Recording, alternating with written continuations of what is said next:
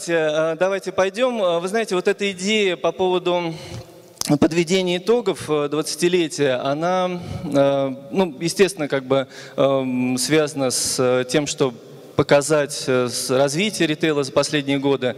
Я очень люблю историю, наверное, это один из самых моих любимых предметов э, в школе был, по крайней мере. Но э, я думаю, что просто история в отрыве от того, что происходит сегодня и от того, что будет завтра, это не настолько актуально для вот такого часового выступления, поэтому я Постараюсь в комплексе рассмотреть вопросы развития отрасли и, соответственно, заглянуть немножечко в будущее. Э, сегодня, как я сказал, очень важно все-таки думать с точки зрения развития ваших компаний, с точки зрения стратегии ваших компаний. Я хочу привести вот перед тем, как приступить к докладу, вот этот слайд, показывающий, как выглядела наша отрасль еще буквально несколько лет назад. Это такая товаропроводящая цепь от производителя к потребителю. И фактически для э, успешной работы на рынке э, было достаточно понимать, в каком звене этой цепи находится твоя компания, какие конкурентные преимущества компания должна развивать, и благодаря этому можно было увеличивать долю рынка, расти, развиваться. Но э, все стало меняться, и триггером этих изменений буквально пару лет назад – конечно, стало развитие интернет-торговли.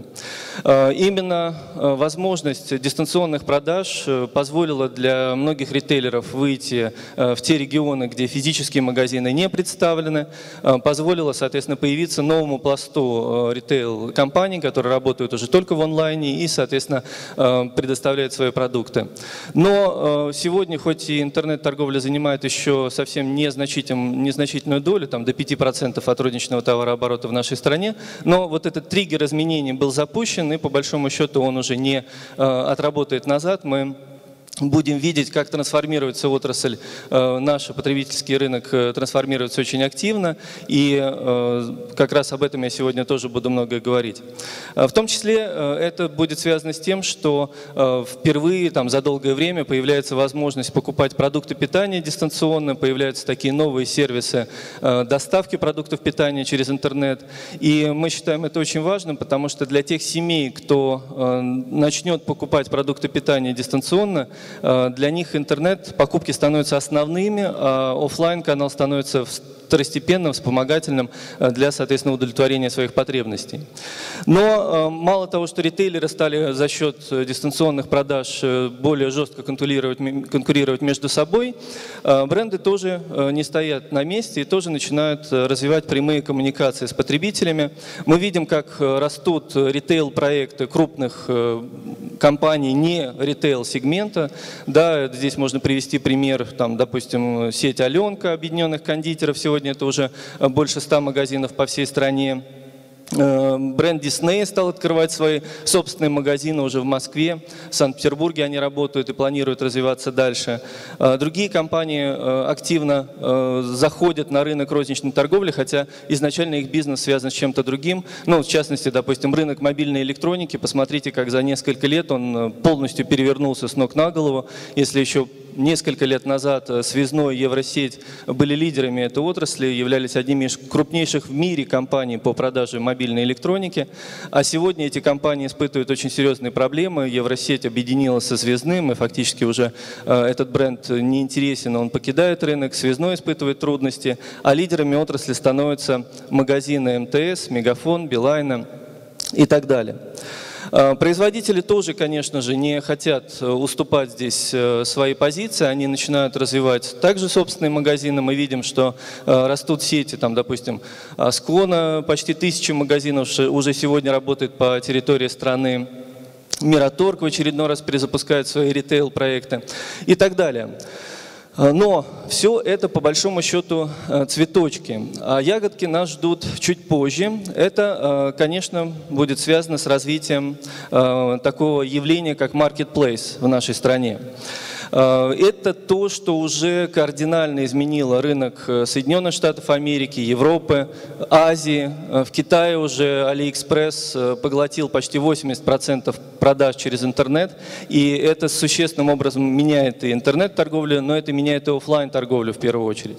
И, казалось бы, в России пока Marketplace не так сильно заметен, но вот сегодня как раз мы подводим итоги дня распродаж 11 ноября, который проходил проходили в этом году в России, в том числе, да, «Черной пятницы».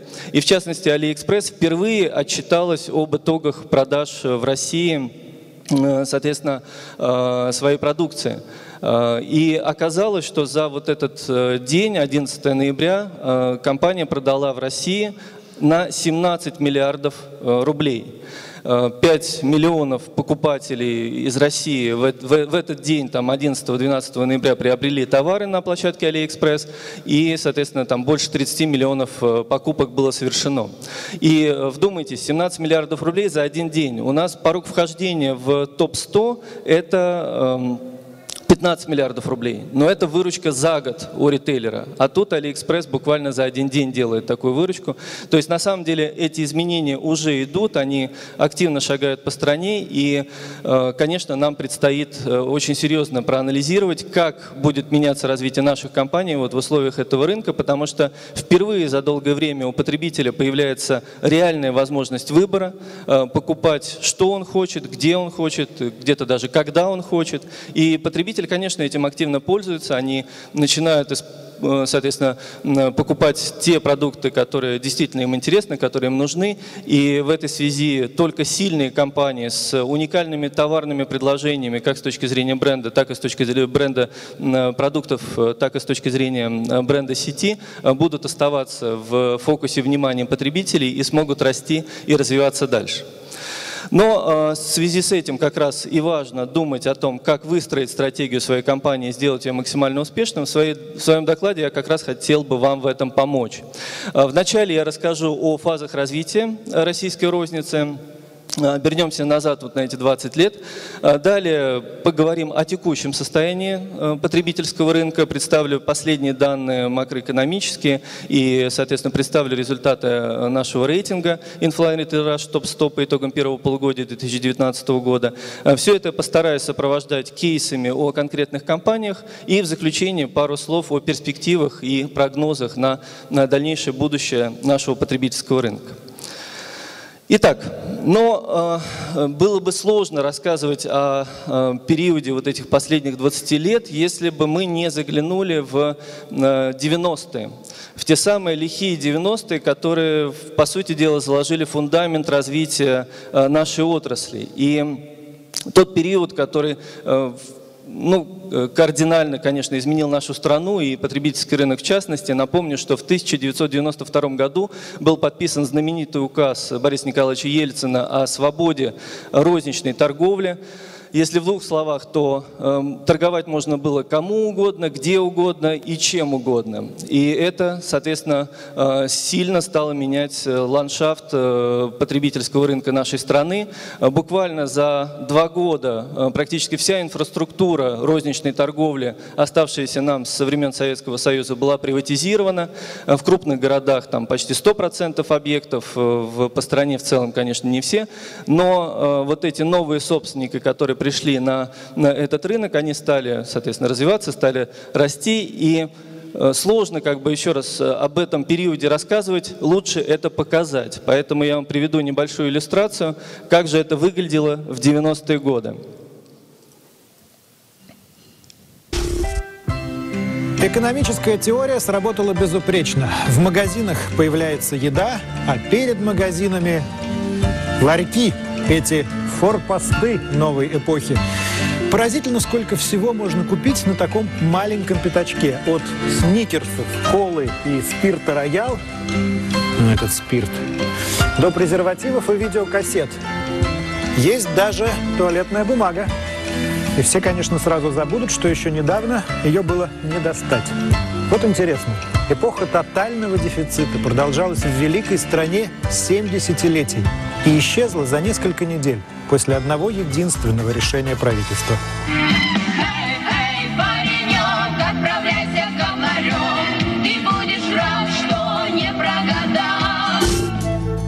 Правда, спрос при новых ценах невелик. Большинству по карману лишь самое необходимое. Лапша доширак, хлеб, сигареты.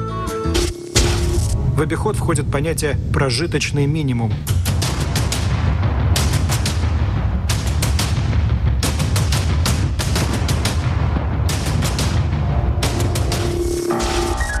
Смягчить последствия либерализации цен должна была другая, почти одновременная либерализация – торговли. Это благодаря ей в магазины попадают диковинные манго и мюсли. Чтобы закупать их за рубежом, больше не нужно получать добро от советских и партийных органов. Она же последний гвоздь в гроб советской экономики. В СССР тех, кто что-то покупал и перепродавал, называли спекулянтами, форцой и отправляли в тюрьму.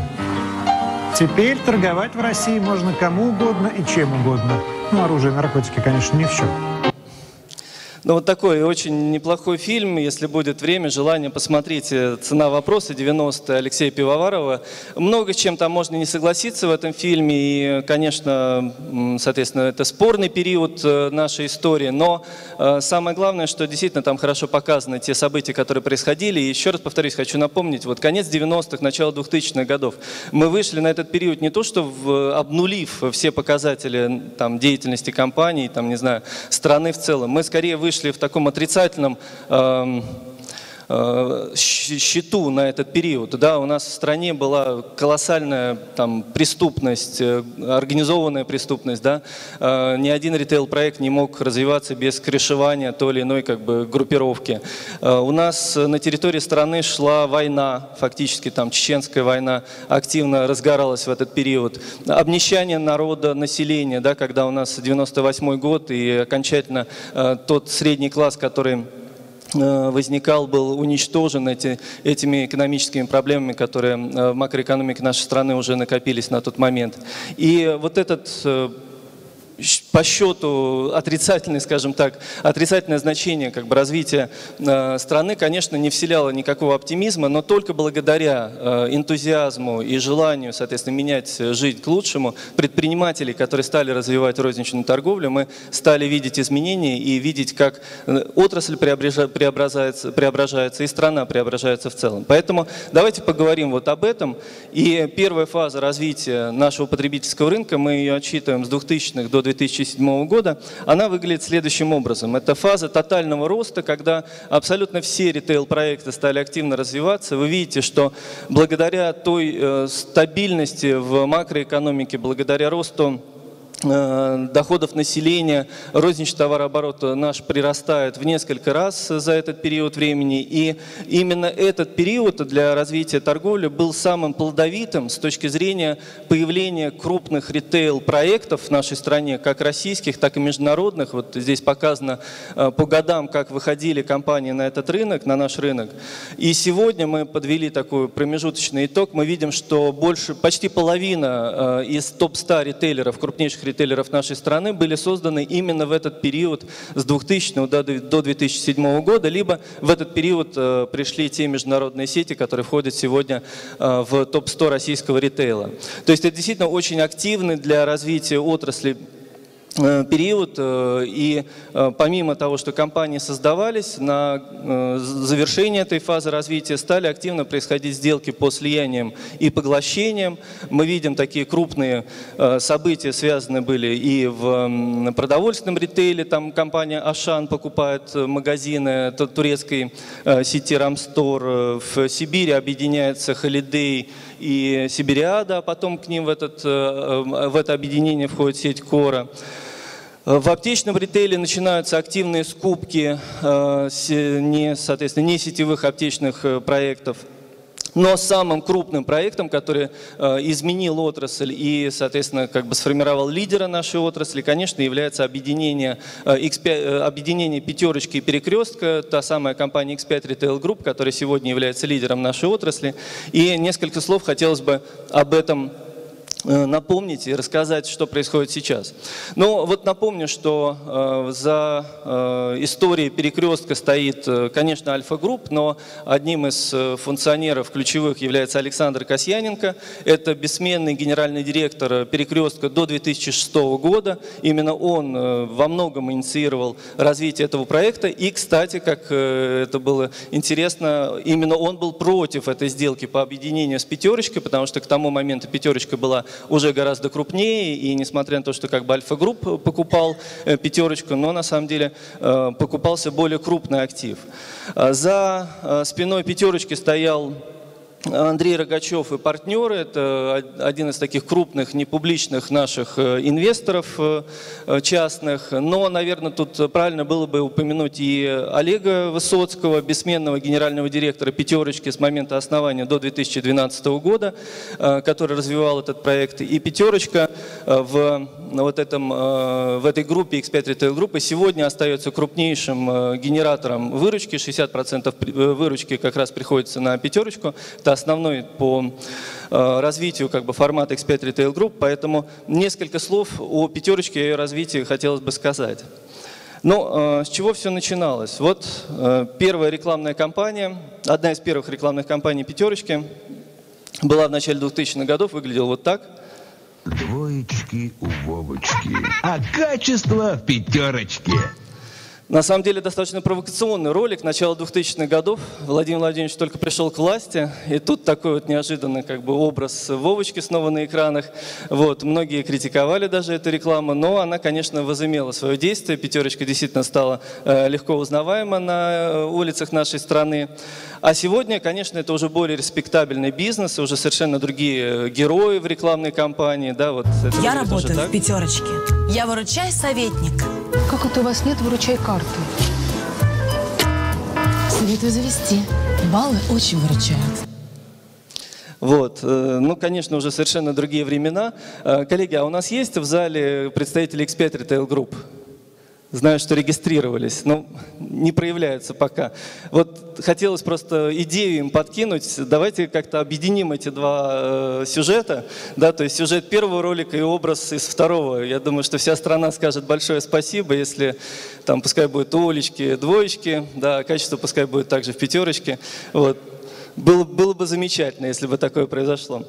Ну, э, посмотрим, конечно. Э, конечно, пятерочки развиваются очень активно, но сегодня магазины уже есть в европейской части страны, Уральский регион в 2016 году выходит уже в Сибирь.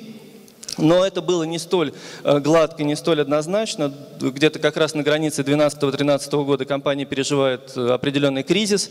Э, магазины устаревают, становятся совершенно ну, в какой-то степени безобразными. И казалось, что пятерочка уйдет с рынка, особенно как раз уход и Высоцкого из компании в какой-то степени был очень таким знаковым, потому что он признавался, что не верит в то, что можно исправить уже те деградационные процессы, которые происходили в пятерочке. Но вот та программа обновления, обновление магазинов, которая была, была запущена в 2013 году и которая во многом была реализована командой Ольги Наумовой, она преобразила пятерочку, она э, позволила продолжить ей расти и развиваться, а сегодня уже в сентябре 2019 года запущена новая программа обновления, которая планируется в ближайшее время к реализации, и уже следующий цикл пятерочек мы э, увидим на э, улицах нашей страны.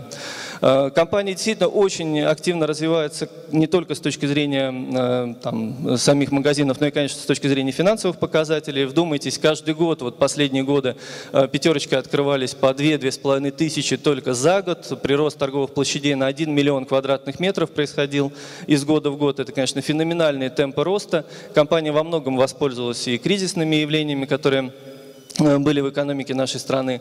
И э, за счет этого активно тоже инвестировал, развивалась. И сегодня уже больше 15 тысяч магазинов. Вот на конец этого года мы ожидаем э, только под брендом «Пятерочка» по всей нашей стране. При этом компания запускает новый такой очень интересный проект. Это 5 пост, постаматы, которые будут размещаться на территории «Пятерочек». Э, сегодня это уже 5000 э, постаматов э, по всем магазинам. В следующем году планируется довести эту цифру до 9 тысяч, а в 2021 году все магазины «Пятерочки» будут оборудованы постаматами. И на самом деле это очень интересный проект, который позволяет генерировать трафик в магазины, при этом этот трафик не каннибализирует покупки продуктов питания. Вы понимаете, что в постаматы продукты питания никто не заказывает, а при этом, соответственно, непродовольственный ассортимент, который не представлен в магазине, может можно будет э, потребителю, соответственно, забрать, э, совершая какие-то повседневные покупки. Очень э, правильный, очень грамотный проект. И уверен, что, конечно, он будет успешен для X5 Retail группы и для пятерочки в частности.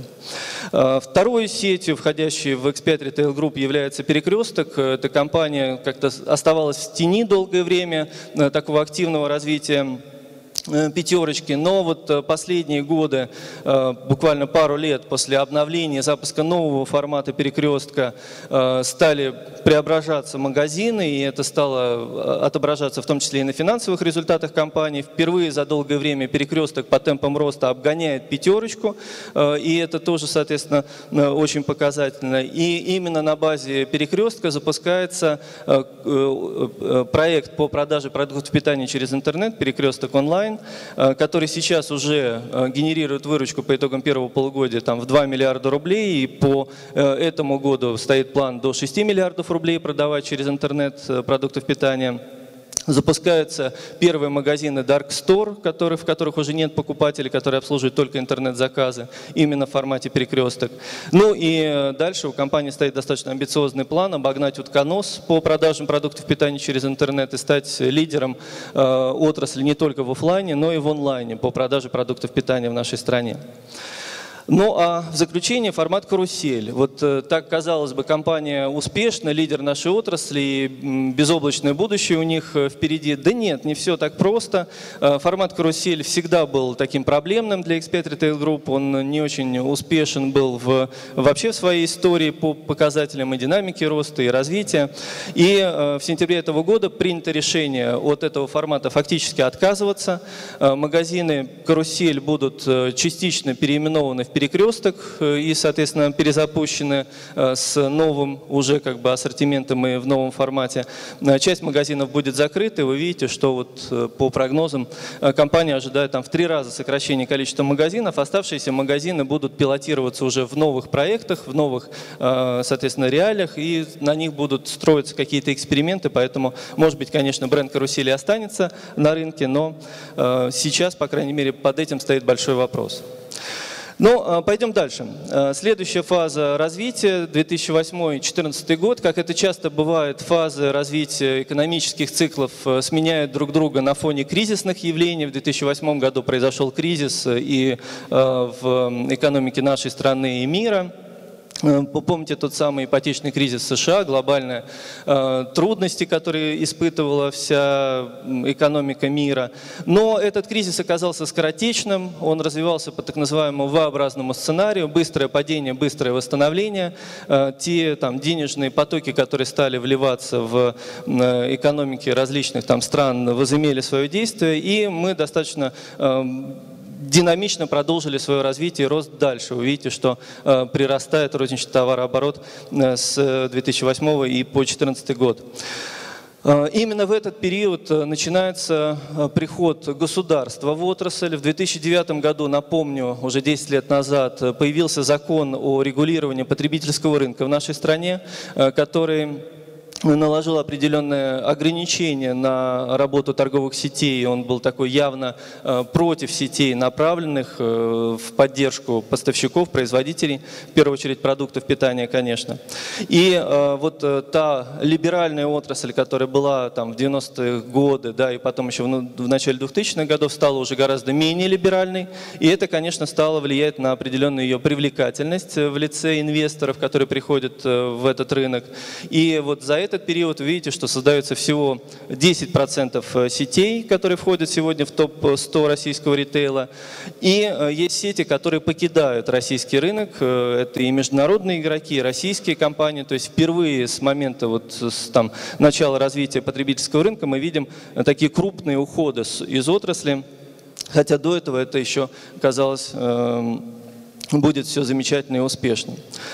Э, но э, вот как раз именно в этот период э, в, происходят крупные сделки слияния и поглощения.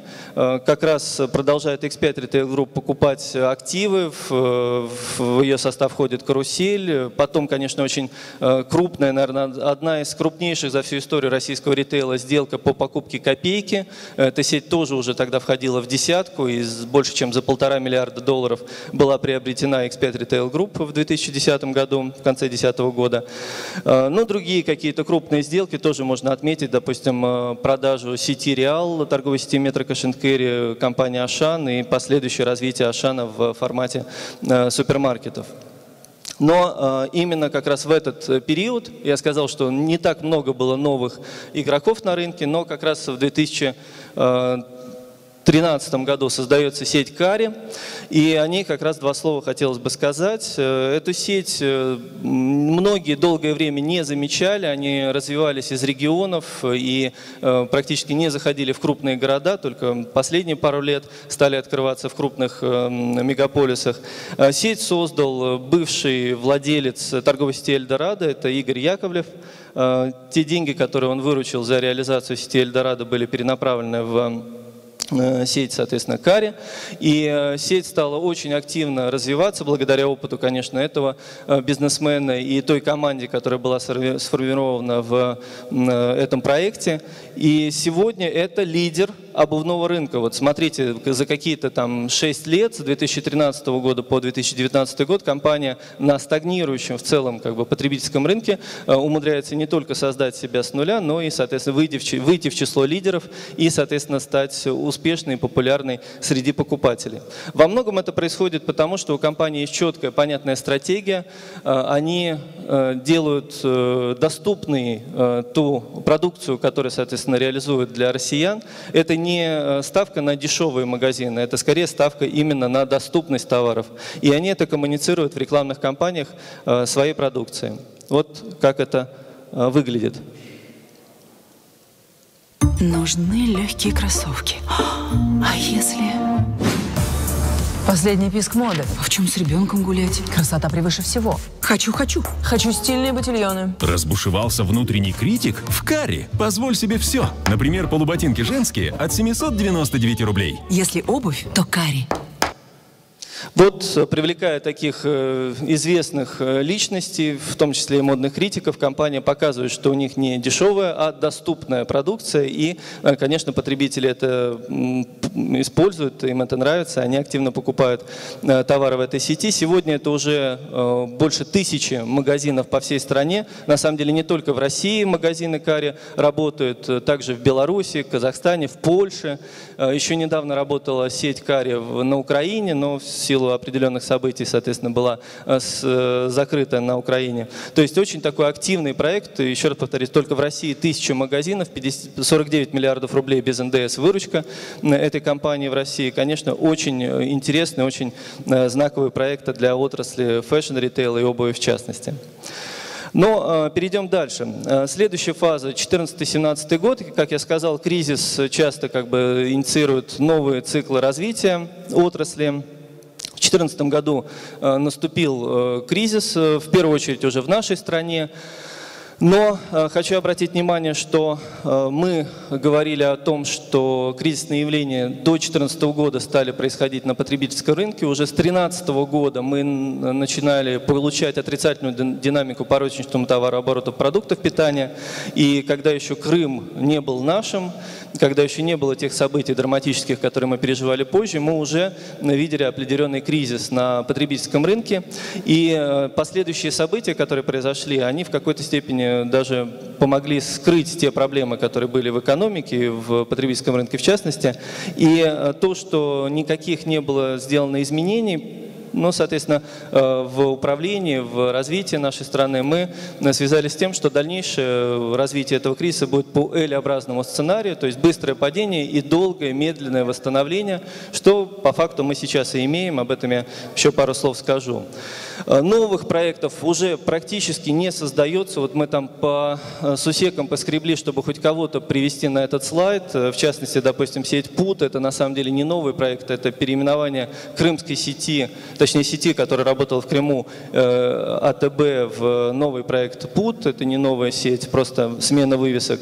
Э, появляется там несколько проектов, ну, в частности, э, Опториды, Э, в Санкт-Петербурге, они также активно развиваются. А вот закрытий вы видите очень много, очень много уходов э, из отрасли, э, крупных достаточно проектов, но один седьмой континент чего стоит, это один из старейших ритейл-операторов нашей страны, компания, которая, акции, которые торговались на бирже, но вот они провели делистинг, а в конечном счете, в принципе, покинули рынок. На, на соответственно, площадях этих магазинов сейчас работают другие операторы. Также с российского рынка уходят и международные игроки. И, э, конечно, как бы сделки происходят, слияние происходит, но э, происходят они уже совершенно под другим, э, под, по другой парадигме. Это скорее вынужденные сделки, то есть это те компании, которые испытывали проблемы или просто желали покинуть рынок, они активно искали покупателей. И как следствие происходят различные там слияния на, в сфере аптечного ритейла или, допустим, уход карауты с российского рынка и покупка ее гипермаркетов торговой сетью «Лента». Но э, именно в этот момент возникает новое, как раз то самое э, явление под названием э, развитие интернет-торговли. Конечно, многие интернет-компании, они появились раньше, но именно как раз в 2014-2017 год их выручка начинает активно прирастать.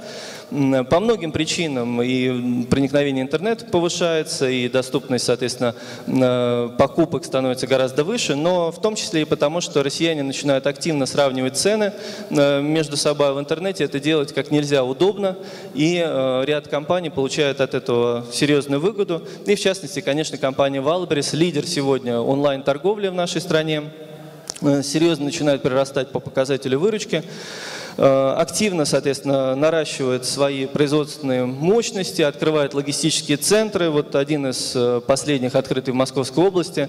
Э, увеличивает количество брендов, количество вообще товарных категорий. Посмотрите, как стремительно последние годы растет на сайте компании Валбрис продукция, не связанная с одеждой, не связанная с обувью. Это и бытовая химия, это и электроника, это уже теперь уже и продукты питания продаются на сайте Валбрис. И, соответственно, компания очень динамично растет одна из самых быстрорастущих сетей в нашей стране.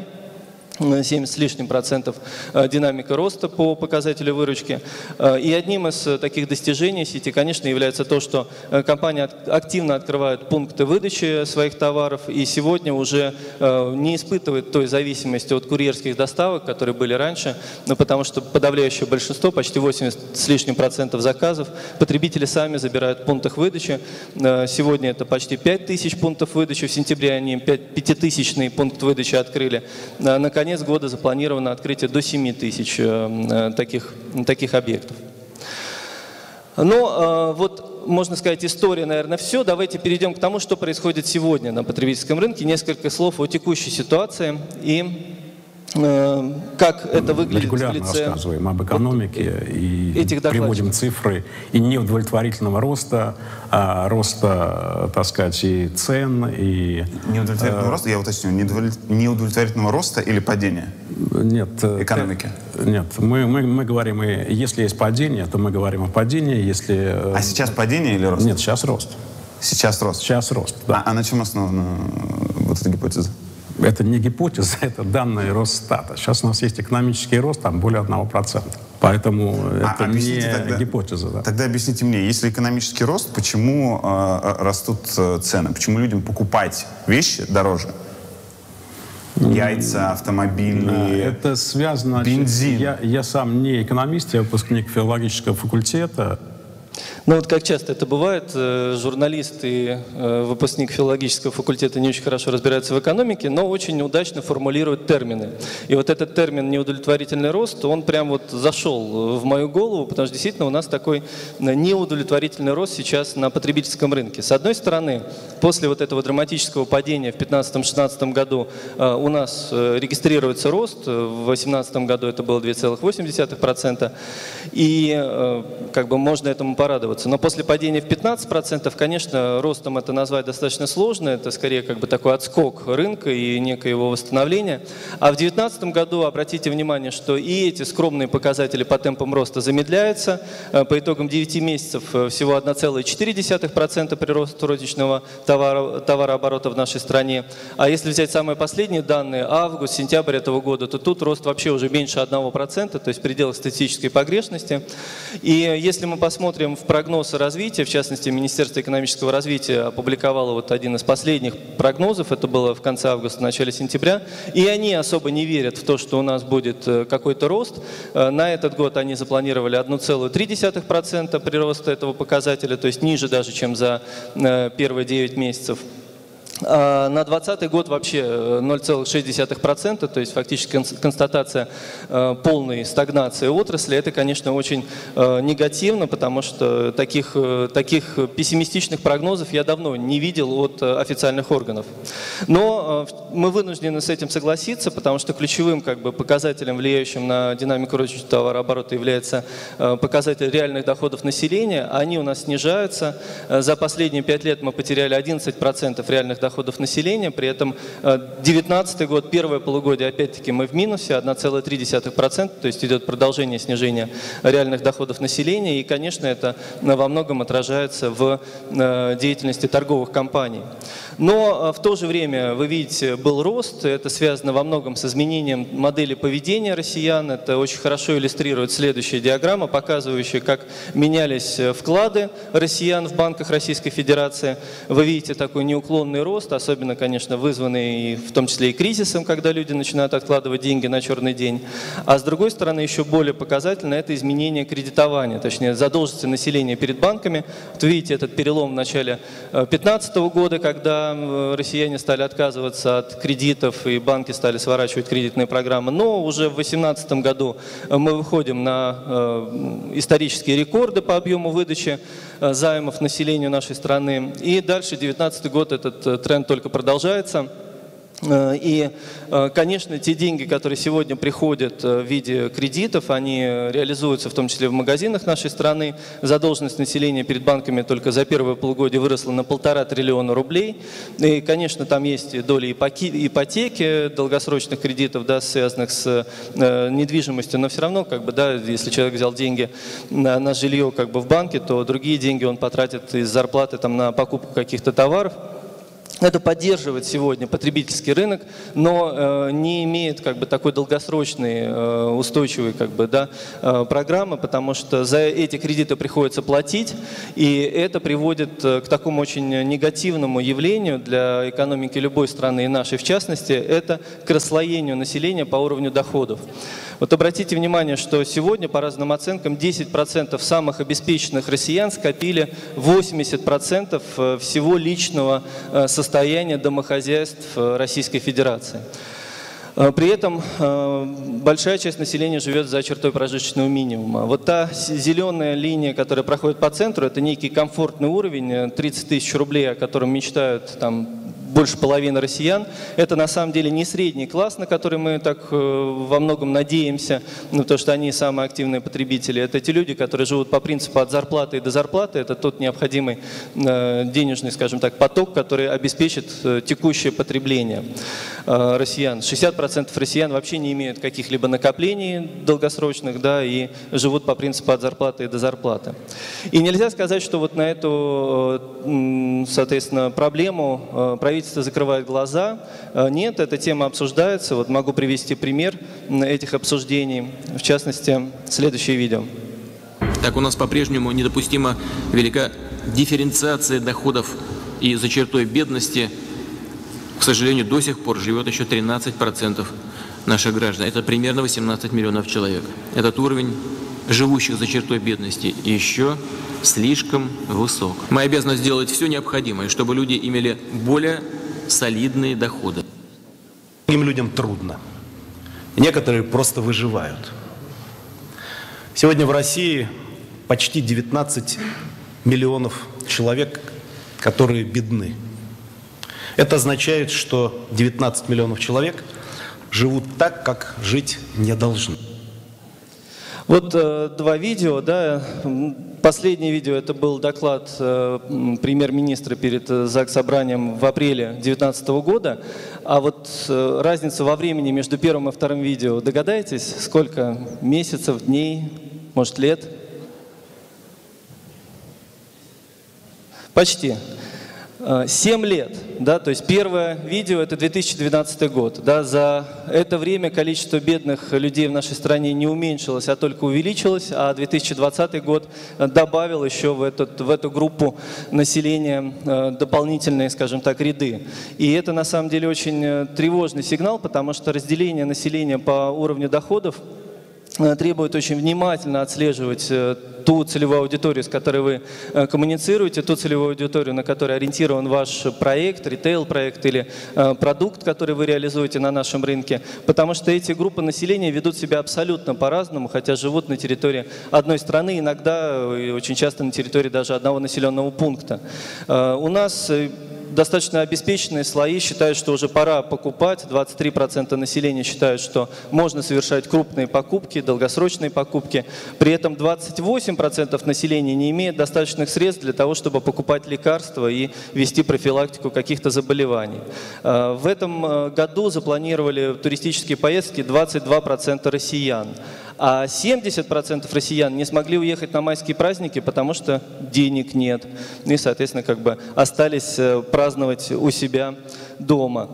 Э, у нас активно растут такие новые современные сервисы, как, допустим, медиаплееры, там, Иви, допустим, это уже полтора миллиона пользователей, очень хороший динамичный рост показателей по выручке компании, там 62% в прошлом году приросли и генерируют уже 4 миллиарда рублей. И в то же время у нас 10 миллионов россиян пользуются таким сервисом, как Едодил, который позволяет сравнивать цены на продукты питания и следить за акциями в продовольственных магазинах. Но вот эти все группы объединяет одно, они ведут себя очень экономно, очень рационально. Мы это называем бережливым потреблением. 70 э, почти процентов россиян считают, что сегодня лучше тратить по минимуму. Это касается как э, необеспеченных слоев, которые просто вынуждены тратить по минимуму, так на самом деле обеспеченные слои. Поэтому у нас очень много э, промо-активности в магазинах, поэтому акции и желтые ценники заполонили торговое пространство в магазинах. От этого э, нам никуда не деться, потому что не сети в этом виноваты, а потребители это ждут, потребители это э, в первую очередь требуют от магазинов. Но кто же выигрывает от этой ситуации? Казалось бы, очень непростой ситуации. Есть на самом деле бенефициары, и в первую очередь это, конечно же, торговые сети. А, вот специально показываю с большим лагом э, эту диаграмму. Да, в 2015 году 30% розничного товарооборота приходилось на топ-100 российского ритейла, а по итогам прошлого года это уже 39%, почти 40% приходится на э, топ-100. И обратите внимание, что топ-10 э, занимает 22%, то есть больше половины да, из этой сотни э, консолидировала выручку первая десятка. И, э, конечно, эта десятка растет и дальше да, наращивает свою долю. Во многом это происходит в том числе и по причине не только органического роста, но и по причине продолжающихся сделок по слияниям и поглощениям менее успешных игроков в разных сегментах. Leroy Merlin покупает Карауту в сегменте DIY, NVIDIA продолжает консолидацию, покупая Eldorado и э, потом магазины MediaMarkt. Э, другие примеры, конечно, наиболее крупный такой из последних событий пример – это объединение Дикси и Красного-Белого буквально э, в сентябре этого года произошло. И э, вот та десятка, э, первая десятка по итогам первого полугодия демонстрирует следующие результаты. Вот перед вами самые последние, самые свежие данные. Они продолжают рост. Большинство компаний, вы видите, демонстрируют двузначные темпы роста по итогам, соответственно, первого полугодия. Это на стагнирующем рынке, о котором я говорил выше. И, э, соответственно, э, дальше, конечно же, планируют развиваться, планируют расти. Э, и на что, наверное, хотел бы обратить внимание на этом слайде, это что вот десятка у нас такая консервативная, здесь основные игроки, безусловно, всем известные компании, но впервые к границе этой десятки подходит компания Valbris. И по итогам уже 2019 года мы ожидаем вхождения компании в топ-10 российского ритейла. Больше 100 миллиардов рублей у компании будет обороты, причем не на десятое место, возможно, даже она сразу вскочит, обогнав Окей, Метро Carry, потому что посмотрите, какие темпы роста у компании по выручке э, по сравнению со своими, ну, может быть, не прямыми, но все-таки конкурентами э, в отрасли. И вот впервые за всю историю Российской Федерации в топ-10 российского ритейла войдет такой чистый онлайн-игрок. И это, безусловно, очень знаковое событие. Очень интересно, э, что это у нас произошло. Э, ну, подводя вот итог, да, хотелось бы завершить вот этим слайдом, показывающим, как развивался наш потребительский рынок, к чему мы сейчас пришли, и к вот этой фазе консолидации российского ритейла, которая Э, началась с 2014 года и продолжается сейчас, и то, что э, Первый этап консолидации происходил благодаря, в первую очередь, конечно, финансовому превосходству торговых сетей. Э, кто обладал финансовыми ресурсами, они могли скупать новые активы, открывать большое количество магазинов. Но сегодня, на наш взгляд, парадигма меняется, и консолидация будет происходить дальше уже на базе технологического превосходства, интеллектуального превосходства. То есть те компании, э, которые будут четко знать свою стратегию, будут знать э, направление своего развития и инвестировать в это направление, э, как интеллект, так и деньги, конечно же, они будут, э, соответственно, получать определенные преимущества, расти и активно развиваться. И для того, чтобы понимать вот эти наиболее перспективные стратегии которые будут реализовываться на российском рынке. Несколько примеров я хотел бы в заключительной части своего доклада привести. Это те самые перспективные, три перспективные стратегии, которые сейчас активно развиваются, о которых мы э, хотели бы поговорить. Ну, первое э, – это умниканальность да, это то, что, опять-таки, должно сопровождать любую презентацию современную, да, это слово обязательно теперь. Но на самом деле, если серьезно, то, конечно, мы видим э, просто высочайшее достижение нашей страны с точки зрения развития интернета как такового. Э, мы ни много ни мало седьмое место в мире занимаем по уровню проникновения интернет э, на территории страны. У нас один из самых доступных, вот был там некий условный рейтинг, что в России, Россия занимает второе место в мире по дешевизне интернет, э, соответственно, трафика. И это на самом деле замечательно, прекрасно, что у нас есть здесь конкурентная среда, и компания активно борется за потребителей, и интернет настолько активно развивается. Э, конечно, развитие мобильного интернета также, вы видите, активно растет, 59% у нас сегодня выходит в интернет уже с мобильных устройств. Это уровень для сравнения, э, к примеру, как в Японии на текущий момент. То есть в этом смысле мы э, впереди планеты всей, и, в принципе, э, конечно же, этим грех э, не воспользоваться. Мы видим, как активно растет, растут продажи через интернет. И они будут расти дальше. И хотя сегодня это все еще цифры там, ниже 10% от э, всего в целом розничного товарооборота в нашей стране, но обратите внимание, что в некоторых категориях, э, таких достаточно значимых, крупных категориях, как там электроника, бытовая техника, э, одежда, косметика, парфюмерия, уже больше половины россиян предпочитают выбирать и покупать товары через интернет. Это не значит, что они отказываются от физических магазинов и, соответственно, уходят только в онлайн, но это значит, что они предпочитают уже выбирать и, соответственно, подбирать свой товар э, через интернет. И вот очень интересное на самом деле наблюдение делают ритейлеры, которые развивают вот эту омниканальную стратегию.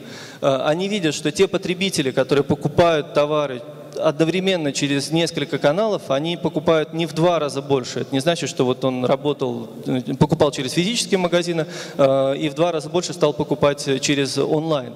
Они покупают в три, в четыре раза больше, когда они используют несколько каналов коммуникации с э, ритейл-проектом, да, с магазином, с сетью. Э, то есть это очень сильный такой кумулятивный эффект, и здесь очень серьезная синергия, которая в разы увеличивает объемы выручки, и, конечно, этим надо активно заниматься, инвестировать и развивать это направление. А, вот первая десятка российской э, интернет-розницы, да, мы все-таки еще пока э, разделяем э, это явление, да, это, это направление.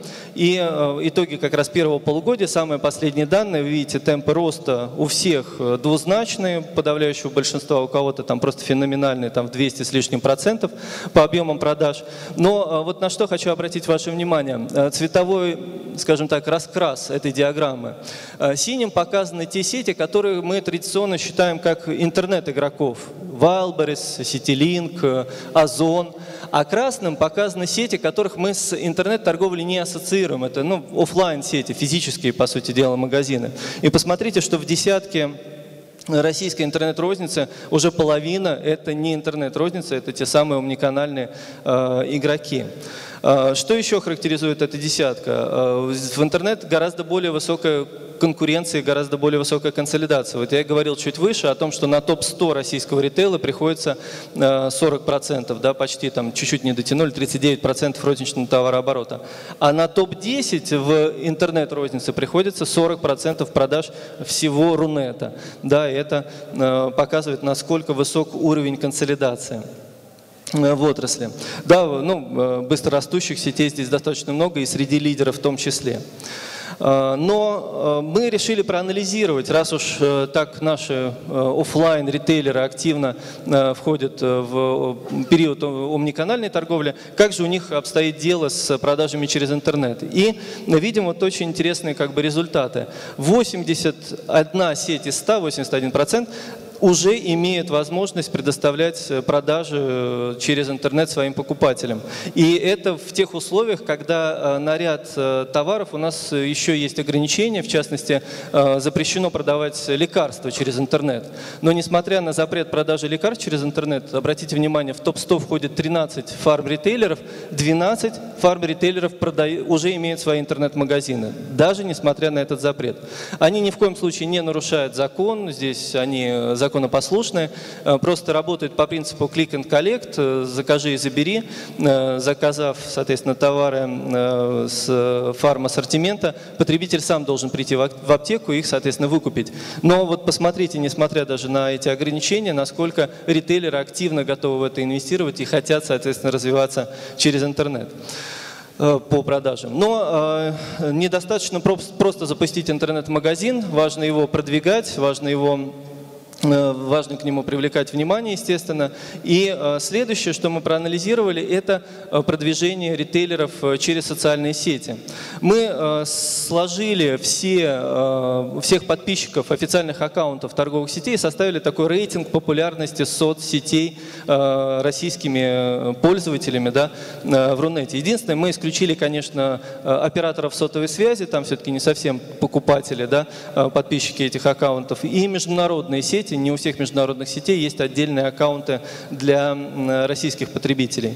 И вы видите, такой рейтинг получился очень забавный. Лидером у нас пока является ВКонтакте, 25 миллионов э, подписчиков э, именно в этом в этой социальной сети, но очень стремительно догоняет, э, соответственно, по популярности Инстаграм, уже 20 миллионов э, подписчиков в этом только канале. И при этом еще недавно мы очень много говорили о перспективах развития YouTube. Посмотрите, YouTube очень сильно отстает по популярности среди, ну, в этом рейтинге, скажем так. И это было в какой-то степени неожиданностью для нас, потому что пару лет назад об этом только и говорили, что перспектива именно этого канала. Но дальше мы решили как бы посмотреть, как же ритейлеры ведут себя в этих каналах, то есть кто вообще здесь э, активен и популярен. Опять-таки, э, построили рейтинги, мы любим строить рейтинги. Вот рейтинг э, официальных каналов в YouTube. Самым популярным оказывается у нас неожиданно это аккаунт сети Остин, там детский мир, М-видео. То есть, опять-таки, обратите внимание, что синие здесь, ну, условно синие, да, это онлайн-ритейлеры, они далеко не на первых местах, и основные позиции, лидирующие позиции занимают так называемые офлайн пока еще ритейлеры. Да? А, более популярным каналом, я сказал, является Инстаграм. Э, здесь, конечно, цифры гораздо более выдающиеся по количеству подписчиков. 3 э, миллиона, ну вот лидер у нас уже больше 3 миллионов подписчиков сеть Литуаль. Э, но вот тут тоже не без неожиданности произошло. Обратите внимание, что второе место занимает торговая сеть «Золотое яблоко», о которой, в принципе-то, на самом деле немного кто и знал и слышал до недавнего времени. Потому что, ну ладно, если у Литуаля у них 800 магазинов по всей стране, и они представлены там в подавляющем большинстве субъектов российской Российской Федерации, то «Золотое яблоко» — это всего 10 магазинов. Да, крупноформатных, но всего 10. И уже больше трех миллионов подписчиков у них.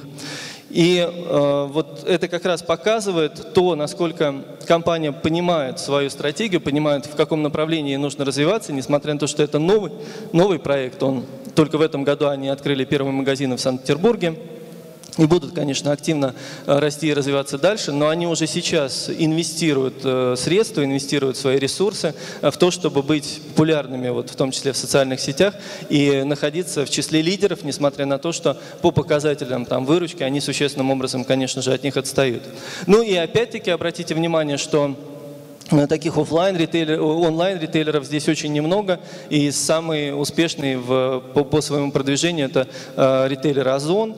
Э, казалось бы, Инстаграм, здесь должен, должен был бы быть аккаунт Wildberries, одежда, ну, девочки любят смотреть одежду в Инстаграм, но э, нет, э, Wildberries всего 360 тысяч подписчиков в официальном аккаунте, но это было в середине года, когда мы проводили исследования, и тем самым они далеки даже от вхождения в эту первую десятку. И в моем понимании это большой просчет компании. Э, не вот активное, скажем так, развитие в социальных сетях может потом э, дорого стоить этой компании и э, не очень хорошо, может быть, даже закончиться. Но э, все-таки вот эти изменения, которые происходят э, в э, онлайн-ритейлере, мы видим, что э, они становятся все больше офлайн. Да, э, казалось бы, Lamoda, недавно это только интернет-продажи, открывает первые физические магазины. Э, первый, соответственно, как бы такой магазин был открыт в марте этого года с ассортиментом одежды, как, ну, соответственно, традиционный fashion ритейлер. Конечно же, много проектов, связанных с установкой, с развитием сетей пунктов выдачи и установкой постаматов. Вот, в частности, э, компания Озон очень активно инвестирует в это направление и тоже становится все больше и больше офлайн. Э, уже сейчас более 6 тысяч постаматов работают э, в э, этой сети, дают возможность покупателям получать товар таким образом. И сама сеть признается, вот специалисты Озона признаются, что установка постамата увеличивает объемы продаж в 5-6 раз для потребителя, да, если, соответственно, покупки становятся делать более удобно. И компания имеет дальнейшие планы по наращиванию количества постаматов и дальше, конечно, будет активно развивать и, соответственно, Э, улучшать динамику продаж в этом направлении. Но вот это движение онлайна в сторону офлайн или офлайна в сторону онлайн, это все-таки трансформация э, ритейла, и не всегда, конечно, ритейл-проекту удается эту трансформацию пройти успешно. Наиболее успешные кейсы, конечно, э, мы видим в тех сферах, точнее у тех компаний, которые изначально в своем ДНК имели вот эту омниканальность. И здесь в качестве иллюстрации я хочу привести пример торговой сети «Петрович». Может быть, не все об этой компании слышали, хотя эта компания занимает второе место по продаже строительных материалов, э, ну, соответственно, в сегменте DIY. Э, компания работает далеко не во всех регионах нашей страны, точнее вообще очень локально. В основном это Санкт-Петербург, Москва, ближайшие регионы несколько. Но компания вот изначально э, была умниканальная. У них 8 каналов продаж, э, которые они как бы с первого дня, можно сказать, своего развивают, потому что это те строительные базы, которые раньше были такими очень брутальными, они стали очень клиентоориентированными. И вот эти 8 каналов продаж от физических магазинов, колл-центры, интернет-приложений и так далее. И совсем недавно они запускают новый, восьмой канал продаж, это цифровые шоурумы, Э, очень симпатичный проект. Конечно, э, ну, надо понимать, что во многом это больше как бы проект для привлечения внимания, для э, продвижения, соответственно, своей, своего бренда на рынке. И вот уже второй такой цифровой шоурум открылся в Москве, в частности. Что это из себя представляет? Это возможность посмотреть свое жилое пространство в реальном размере, один к одному, три плоскости, да, вы видите стены, пол, и тем самым увидеть э, свое жилище после ремонта. Очень симпатичный проект. На самом деле таких аналогов в мире пока еще даже нет, и э, очень горд, что именно в России российскому ритейлеру удалось реализовать такой очень интересный, э, вызывающий проект. И э, компания, вот еще раз повторюсь, очень активно развивается во всех каналах э, продаж и активно, соответственно, э, и экспериментирует, и ищет новые направления. Но в том числе и инвестирует в рекламу и в свое продвижение. И вот такие видеоролики получают призы Ремонт в номинациях закончится. различных конкурсов. Ремонт закончится, даже если кажется, что его можно только остановить. Ремонт закончится, даже если их обед не заканчивается. Ремонт закончится, даже если он кажется прыжком в бесконечность. Ремонт закончится, если его начинать в Петровиче. Все для того, чтобы ремонт быстрее закончился. Петрович. С теми, кто отважился на ремонт. Ну вот действительно, да, пройти ремонт всегда непросто, и очень замечательно, что компания так эмоционально транслирует как бы идею решиться на ремонт и, соответственно, э, реализовать улучшения своих жилищных условий. Ну, а пойдем дальше. Второй э, тренд, да, второе направление развития – это поляризация форматов. Я вначале говорил уже о тех э, трудностях, которые в участии населения нашей страны есть, и э, это такая стабильная и большая по численности аудитория, которая не видит ценности брендов, потому что, по сути дела, вынуждены выживать. Они имеют основной фактор выбора – это цену, и, соответственно, им не нужен широкий ассортимент, они готовы, соответственно, удовлетворить свои потребности более узким ассортиментом. Конечно, это дает э, предпосылки для развития формата дискаунтер, хотя вот те дискаунтеры, которые сегодня на российском рынке представлены, это все-таки все еще мягкие дискаунтеры. Э, да, у них э, доступные цены, да, у них зачастую как бы такие не самые привлекательные магазины, но основная концепция дискаунтера это, конечно, цепочка поставок, контроль цепочки поставок и, соответственно, большое проникновение собственных торговых марок. Пока у нас таких примеров немного, поэтому мы их называем, условно говоря, мягкими дискаунтерами. Они на самом деле развиваются в разных э, сегментах российского ритейла, вот в частности, допустим, дискаунтер в фарм-ритейле, аптека «Озерки», э, неожиданно, на самом деле, очень успешно стало развиваться и настолько успешно, что в 2016 году э, были вынуждены запустить вот такие электронные очереди, своих торговых объектов, потому что просто количество покупателей было настолько велико, что, соответственно, уже э, очереди не выдерживали и вот э, таким образом как бы решали проблему наплыва покупателей в свои аптеки компания. Или, допустим, компания «Светофор». Я показывал на предыдущем слайде, была создана в 2009 году, то есть одна из, можно сказать, последних вышла на рынок России, а сегодня они входят уже в топ-10 FMCG розницы. И вот активно развиваясь последние годы, доросли до того, что в этом году открыли тысячный магазин э, на территории нашей страны и Э, соответственно, работая вот в таком формате очень э, экономных магазинов, скажем так, открываясь в ангарах, в не самых привлекательных местах, становятся трафикообразующими, потому что потребитель знает, что там можно найти самые выгодные по цене предложения, и, соответственно, туда активно идут. И это, соответственно, одна сторона медали. А в то же время есть другая сторона медали. В тот же 2009 год была создана сначала сеть «Избенка», а потом сеть «Вкусвилл», Э, стала, соответственно, активно развиваться с 2002 года. Э, то есть, казалось бы, параллельно да, в одной стране, на том же самом рынке, в том же самом FMCG-сегменте развивается абсолютно диаметрально противоположный проект, но развивается тоже успешно и тоже открывает тысячный магазин осенью этого года.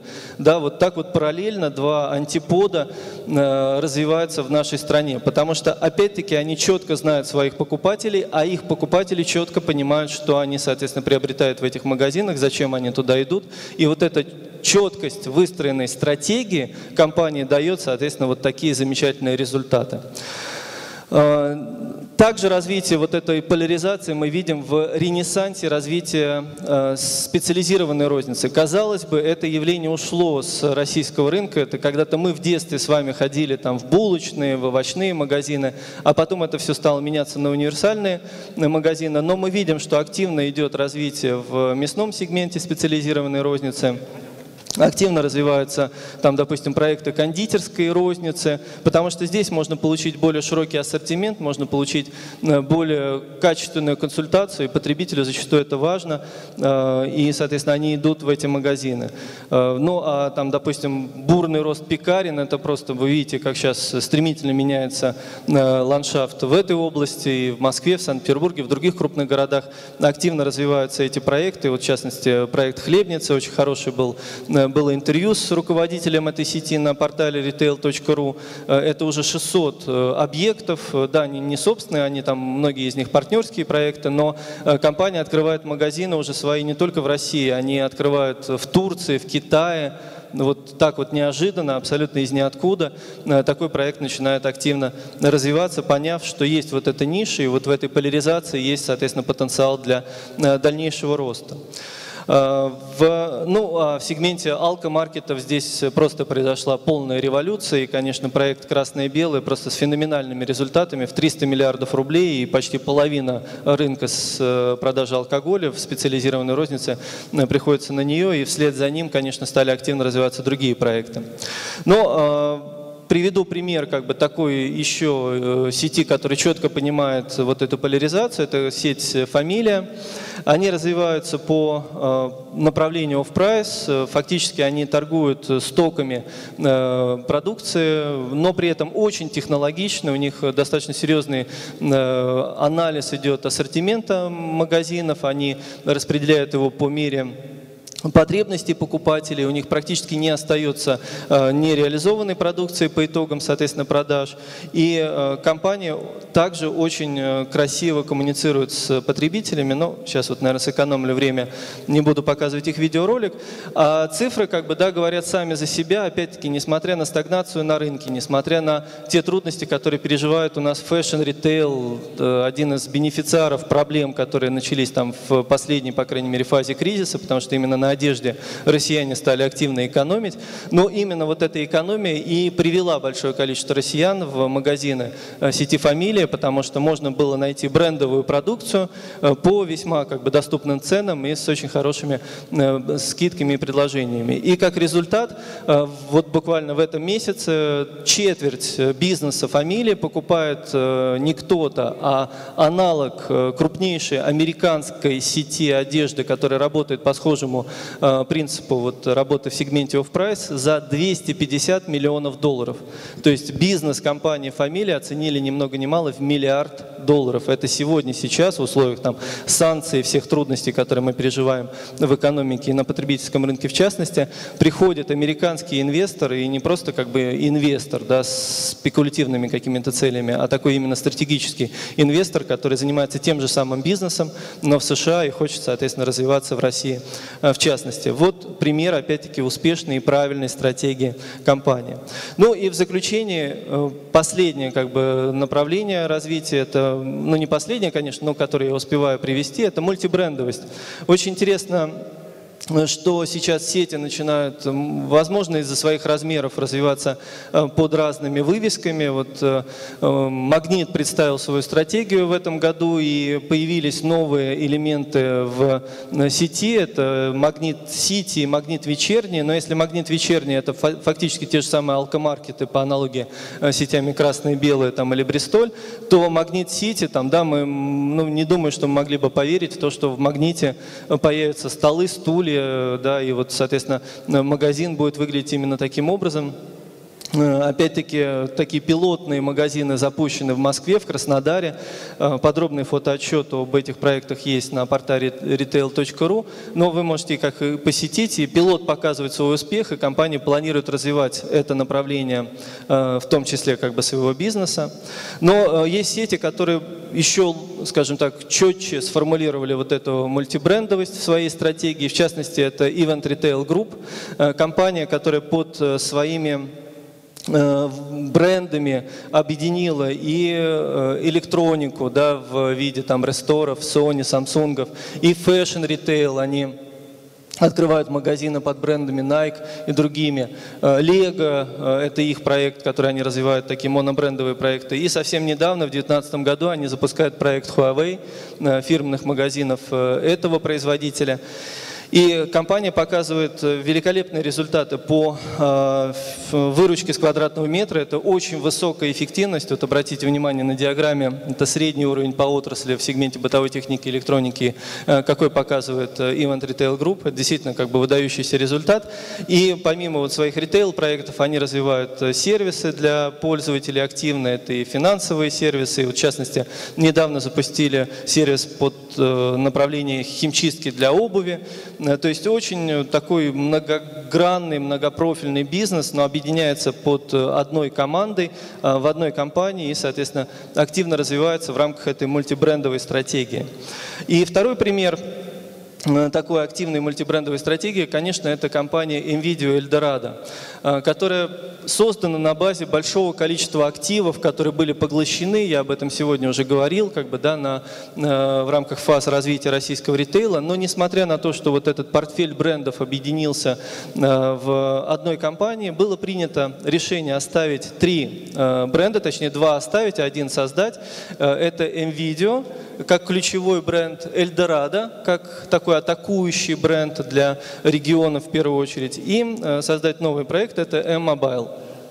И сегодня эти три бренда будут параллельно развиваться. Компания работающая в одном сегменте бытовой техники и электроники, будет э, развивать три параллельных проекта и тем самым, э, соответственно, находить оптимальное решение для выхода на ту или иную потребительскую группу. Вот э, такие стратегии, конечно, дают возможность компании там, расти и развиваться. И четвертый бренд, который тоже стоит упомянуть, это бренд Goods, который запустился под, соответственно, еще когда-то эгидой Танкована и MVideo. Это marketplace, который который сегодня тоже как бы пытается занять свою нишу, э, по планам на этот год должен выйти там на 10 миллиардов рублей. Вот эта э, мультибрендовость э, стратегии ритейлеров позволяет найти оптимальную комбинацию решений для тех или иных покупателей и, соответственно, получить, соответственно, положительные результаты.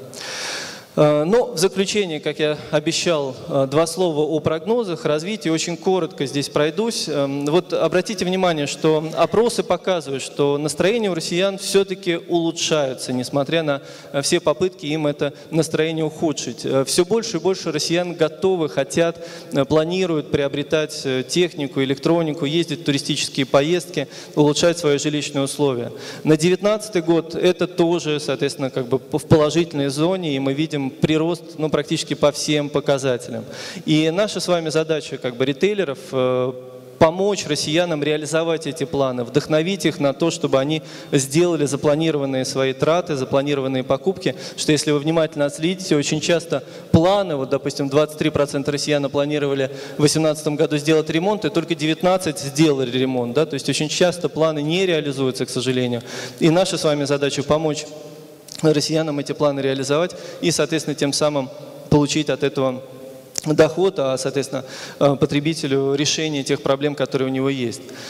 Э, конечно, не могу не э, упомянуть о смене поколений, которая сейчас происходит. Э, наши дети становятся активными покупателями, активными потребителями. Они мыслят совершенно по-другому, у них совершенно другие приоритеты в жизни. И, соответственно, здесь много цифр, много данных по этому поводу, много маркетологи об этом говорят. Но мне очень понравилось, как сформулировал коллега мой, что сегодня вот эти потребители хотят практически моментально мгновенно, они хотят дешево, практически бесплатно, они хотят максимально персонифицированно.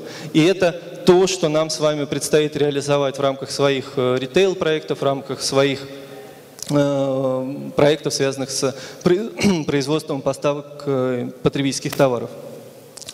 Э, если говорить в цифрах, то э, развитие российского ритейла не ждет, э, к сожалению, такого бурного роста. И прогнозы Министерства экономического развития, о котором я говорил выше, и наши ожидания, они такие очень инертные.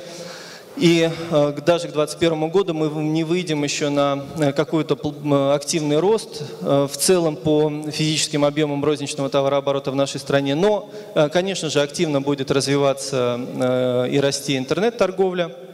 Об этом я уже много говорил. И э, особое внимание стоит обратить внимание на развитие продуктов питания, продажу продуктов питания через интернет. Вот мы здесь даем очень э, такой консервативный в какой-то степени прогноз, но мы стоим на пороге того, что будет разрешена продажа, дистанционная продажа алкоголя через интернет. Пока у нас еще это э, запрещено, но э, мы думаем, мы ожидаем, что это произойдет в ближайшее время, и тем самым э, для российской розницы появится еще один один новый импульс развития э, вот этой дистанционной торговли продуктами питания, потому что, конечно, алкоголь – это одна из самых маржинальных э, категорий в сегменте продуктов питания, и сегодня она недоступна для продаж э, через интернет. Если заглянуть на там, недалекое будущее, 2021 год, то мы ожидаем, что топ-100 российской розницы уже выйдет наполовину всего э, объема продаж в России – именно они будут контролировать там, от 48 до 50 процентов э, розницы нашей страны. И, соответственно, эта консолидация, о которой я говорил выше, она э, будет продолжаться. Ну, а резюмируя свой доклад, вот я еще раз как бы, да, предлагаю вам оглянуться на историю развития российского ритейла, посмотреть, как э, вот эти фазы э, развития меняли одна другую и какие были основные там тренды, основные парадигмы развития. И вот к чему мы подошли. Мы подошли к тому, что сегодня, конечно, мы говорим о том, что развитие ритейла идет под флагом умниканальности. Это сегодня актуальная э, тема для всех там форумов, для всех страт-сессий и так далее. Но мы стоим на пороге нового десятилетия, мы стоим на пороге, возможно, новой фазы развития российской и, может быть, даже международной розницы.